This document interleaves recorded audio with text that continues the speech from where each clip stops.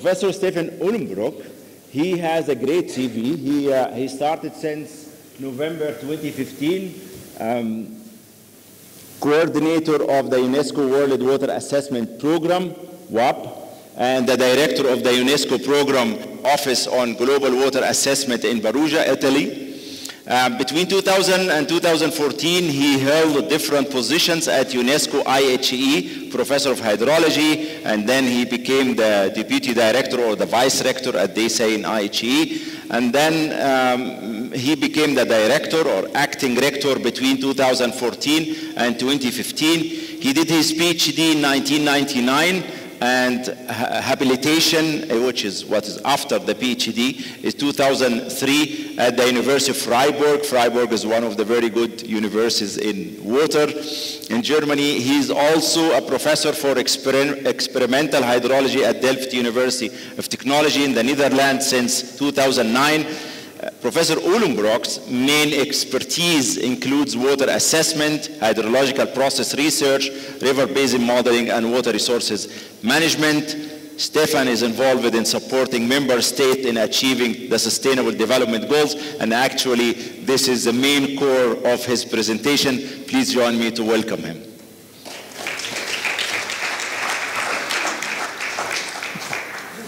Good evening. I have your cell phone with the, with the timer on, by the way. it's the 50 minutes. Now, Thank you. Thank you.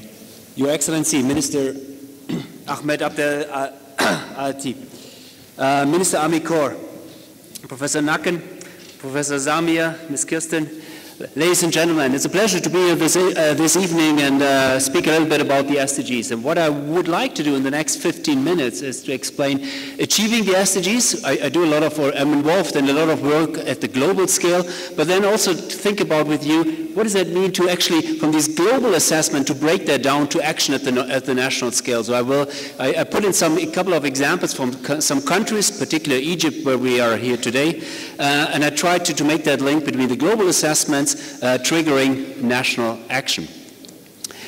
I base it on, on two sources of knowledge. The one is the um, SDG 6 so-called synthesis report, a report that we launched uh, two months ago at the HLPF uh, in New York. It's a UN water report, and while I'm presenting, I really would like to acknowledge the contribution of, of many, many colleagues who contributed to that. You see here the agencies at the bottom, and it's really the, the output of, of a collaborative effort uh, of the UN family producing this report, report and informing the member states, where are we with this SDG 6, you know, with the different indicators, how far are we with reaching the targets, what are the interlinkages between water and all the other SDGs, what are the key policy recommendations that we have to speed up, to really increase the pace in achieving this important goal.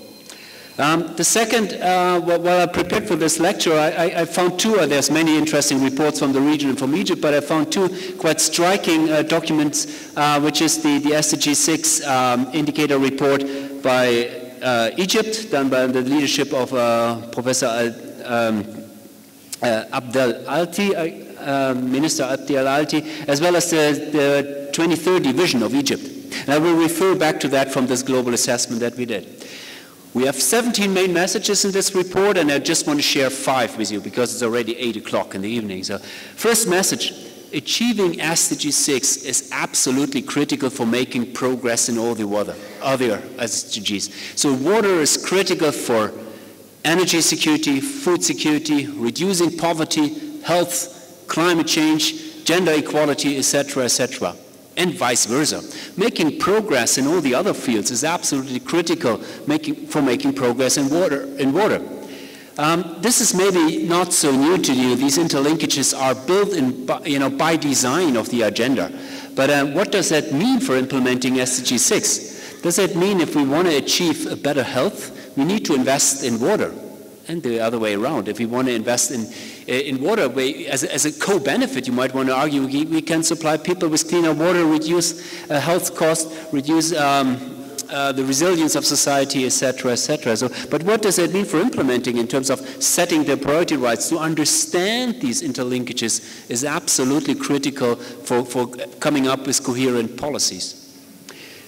The value of water, I, I think the, uh, Her Excellency from Singapore, she already explained that it's not only about the cost for providing a water services, no? it's also about having the cost for continuously improving, for uh, continuously being able to invest in it, but also having uh, the, the other co-benefits of that water service are absolutely critical. So, so valuing water right is, is uh, going much further than, than the economic cost that we have for the provision service.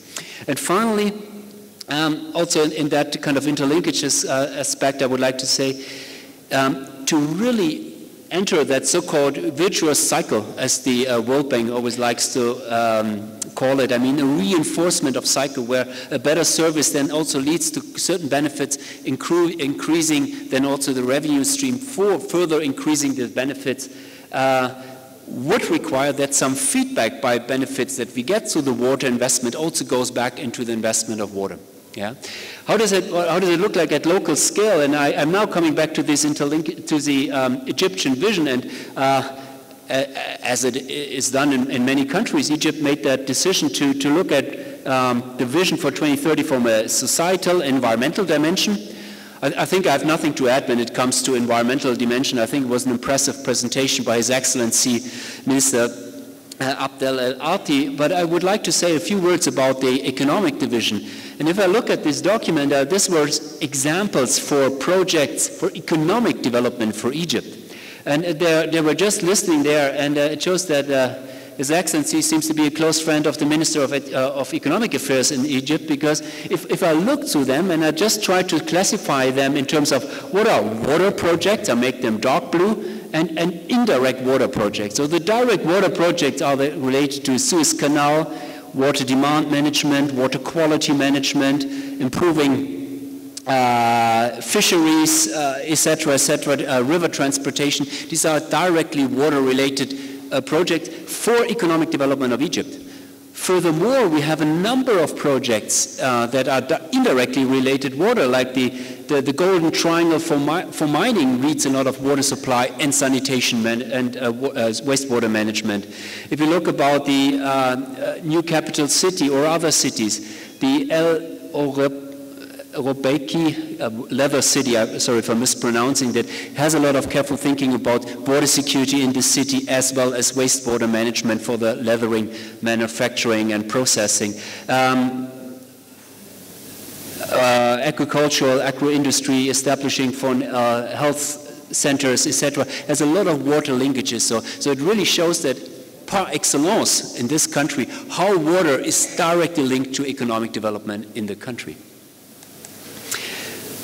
Second message, inequalities are at the all-time high. While there has been a lot of success during the MDG phase, during the period 2000 to 2015, we have never been in a world where, where there's so, un, uh, so unequal access to a number of services, including water. What we plot here is the GDP on the x-axis versus the um, access to safe, safely managed drinking water. Every country is a bubble. The size of the bubble is the number of people, and you see the higher income countries have a much better service. And on the y-axis, you can plot safely managed sanitation or a number of other parameters. The pattern is often the same.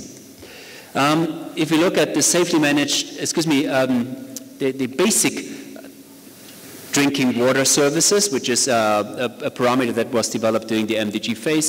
We, you see this global map, and you see the blue areas are doing fine. Seven out of 10 people have access to at least basic water, but there's still 844 million who do not have access, even not to basic water. There's 2.5 million not having access to safely drink, drinking water managers, uh, um, safely managed drinking water. So it's very, very uh, serious still, and it still needs a lot of investment. Looking at two countries for, for nationalizing that perspective a bit further, I, I just picked, uh, we, we did that analysis for a, a, couple of countries along the, the Nile Basin, and, and I show you tonight some, some examples from uh, Egypt as well as from Ethiopia. And uh, just to remind us, the, the, the, um, the Egyptians and the people in the room know that very well. The, the uh, population density is, is, in Egypt very, very special because of the uh, geographic situation. And you see it here uh, on this map. And in Ethiopia, you see a much more distributed population. So if we, if I now show results for different governorates, uh, please keep in mind that where the people are, are living in, in these two different countries because that's important for the interpretation.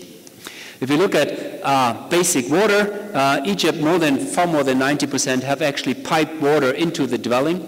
Uh, a smaller percentage do not have pipe water, and you see either to the uh, neighborhood, to the yard, or, or located elsewhere. In Ethiopia, it's a different situation where, unfortunately, only a relatively small percentage has directly uh, piped water to the uh, dwelling directly. If we look at also this on, on a map, pipe border, you see how, how different the situation within a country can be. So just having a percentage of a country is not informing policy processes very well. So therefore, I was also happy to see, uh, hear this um, earlier today when the minister explained that for every governorate, there's a different approach, improving uh, service level, really tailored towards the different needs.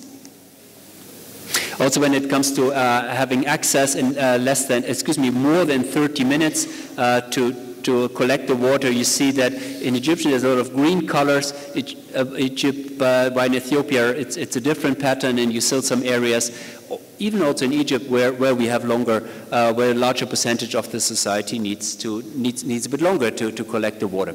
While the situation in Egypt is, is uh, for a, a, lower middle income country very good compared to other lower middle income countries. Um, yeah, uh, that's I need to say. Coming back to uh, the other part of WASH, though, the uh, sanitation, and I was speaking about inequalities, and uh, globally, we see that some 70% of the world act, has access to basic sanitation. Take Latin America, and uh, we see that everything between 30 and 100% is in Latin America. Take Panama, our fairly industrialized um, part of Latin America, you see on average it's 80%, but you have everything between 100 and 80% within this relatively small country of Panama. And there's a huge difference between the urban and the rural, the rich and the poor, and different municipalities of Panama. So it, it, demonstrates how critically important it is to look at the, the variability at the subnational scale to really be informed uh, to, to make right policies uh, for the country and not just looking at the global, global parameters.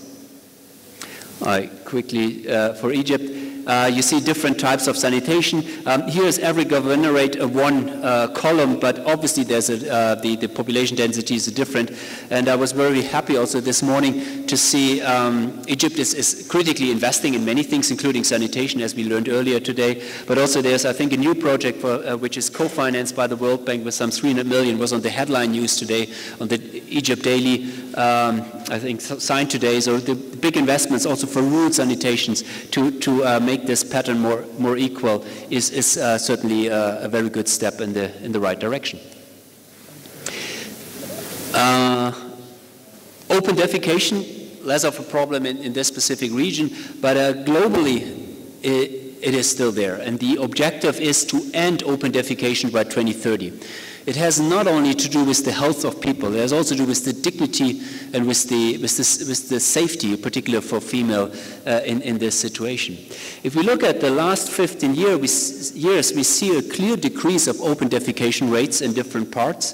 The, the largest burden is in uh, uh, sub-Saharan Africa, as well as in Central and Southern Asia. You see the, the values going down. But, uh, you know, they, they line quite nicely up. And, and if there's a on, a, on a PowerPoint interpolation, what I, what I was able to only do quickly, you can see, if you, if you extrapolate linearly, you can clearly see that, um, particularly in uh, sub-Saharan Africa as well as in uh, southern and eastern, southern and central Asia, we will not end open defecation. It will not be zero. So therefore, we really need to speed up the effort. Also, if you look at the countries where we do not have basic water supply, only four out of, uh, only one out of five countries on track. If you look at the countries who not have basic sanitation, only one out of 10 countries is on track if we extrapolate from the past 15 years for the future. So we really have to reinforce the pace. We really have to reinforce the speed to achieve these goals. Time to act is really now. Um, I skipped this quickly on the interest of time and quickly on a few words on, on water resources. I was speaking about WASH indicators so far. Um, globally, we, we, seen, we, we see water uh, demand uh, escalating, although the withdrawal rates over time have been increasing. A bit less than 70% nowadays go to agricultural use. um, bit, some, some 12% to the domestic water and some 19% roughly to uh, industry and energy. So this, this number of uh, like 70 or 69% going into agriculture is globally right. Um, however, if we look at the different continents, we see a completely different picture, and you see that in Europe, it's only 21% of the total withdrawals going into irrigation, while more than 50% go into agriculture and industry. Excuse me, to agriculture and energy. It's a bit late already, excuse me. Um, energy and industry. So, so biggest water savings are there, while in more agricultural-based economies, in some of them, more than 90% of the withdrawals go into agriculture. Biggest savings, obviously, are in this sector, and these savings can be achieved by, by fully utilizing latest technology uh, that, that makes savings of the water available also for other uses.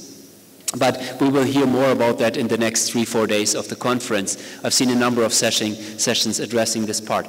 The chair is looking at me carefully, and I'm coming to the last part of my, of my presentation. I would like to speak briefly about financing. Um, I was uh, earlier this um, on, on uh, Thursday. I was at a meeting at the European Investment Bank, and it, it was quite striking. A total cost for achieving the SDGs was estimated to 2,500 billion, so 2.5 trillion US dollars per year of investment needed to achieve the total SDGs. And I was then involved in a session on financing water, and, and, and the conclusion was how much is needed for water? We don't know.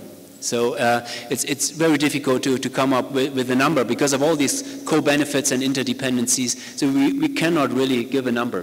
Why is this needed? Um, just looking at what is more than 80% of the society, what do they pay for water and what the remaining 20% uh, of the society pay for water. And for instance, in this part of Northern Africa and Western Asia, there's still uh, more than 3% of the society who pay more than 3% of the domestic income for wash services in total, yeah? which, which, uh, which can be significant, particularly for the so-called bottom of the pyramid people.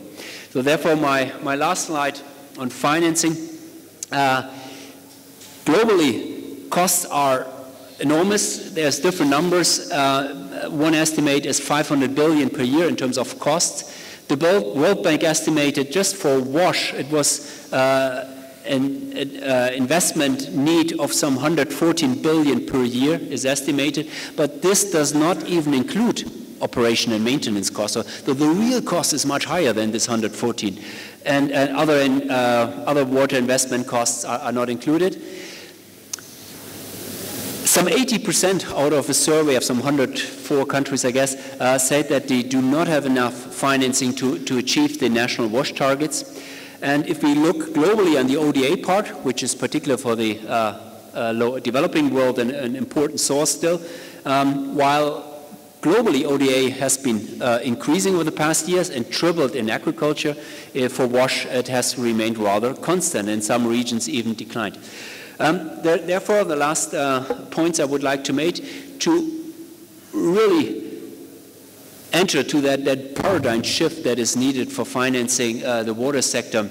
Um, the, report concluded that we first need to fully effectively utilize existing financial resources that needs innovations, innovations also in finance. Second, the full socioeconomic value of water needs to be considered UNICEF publishes number, every dollar put into the wash sector pays back for society with factor five, including all the uh, macroeconomic benefits that, uh, that are there. So we really need to consider this in, in uh, economic models or finance models need to develop more to full, uh, more comprehensive uh, economic models. To do that, we need an enabling environment that is able to utilize a number of different financial resources including a so-called blended financing setup, which has uh, domestic uh, money, but also international private financing, commercial financing um, is absolutely needed. To do that, we need an enabling environment for that investments. Mind you, most of the water investments, and I think that was clearly illustrated by, by His Excellency, the, the Minister, uh, showing that it needs a lot of upfront capital investment and then quite a long payback period over time. And this speciality of this water investment needs need, need, need a proper risk management to be to able to, to utilize also uh, international and, and commercial financing. To do that, a number of reforms are necessary. This were the five messages I would like to, uh, wanted to share with you this evening. I hope at the uh, time of the day this was still digestible, and I'm looking forward to the discussion. Thank you very much.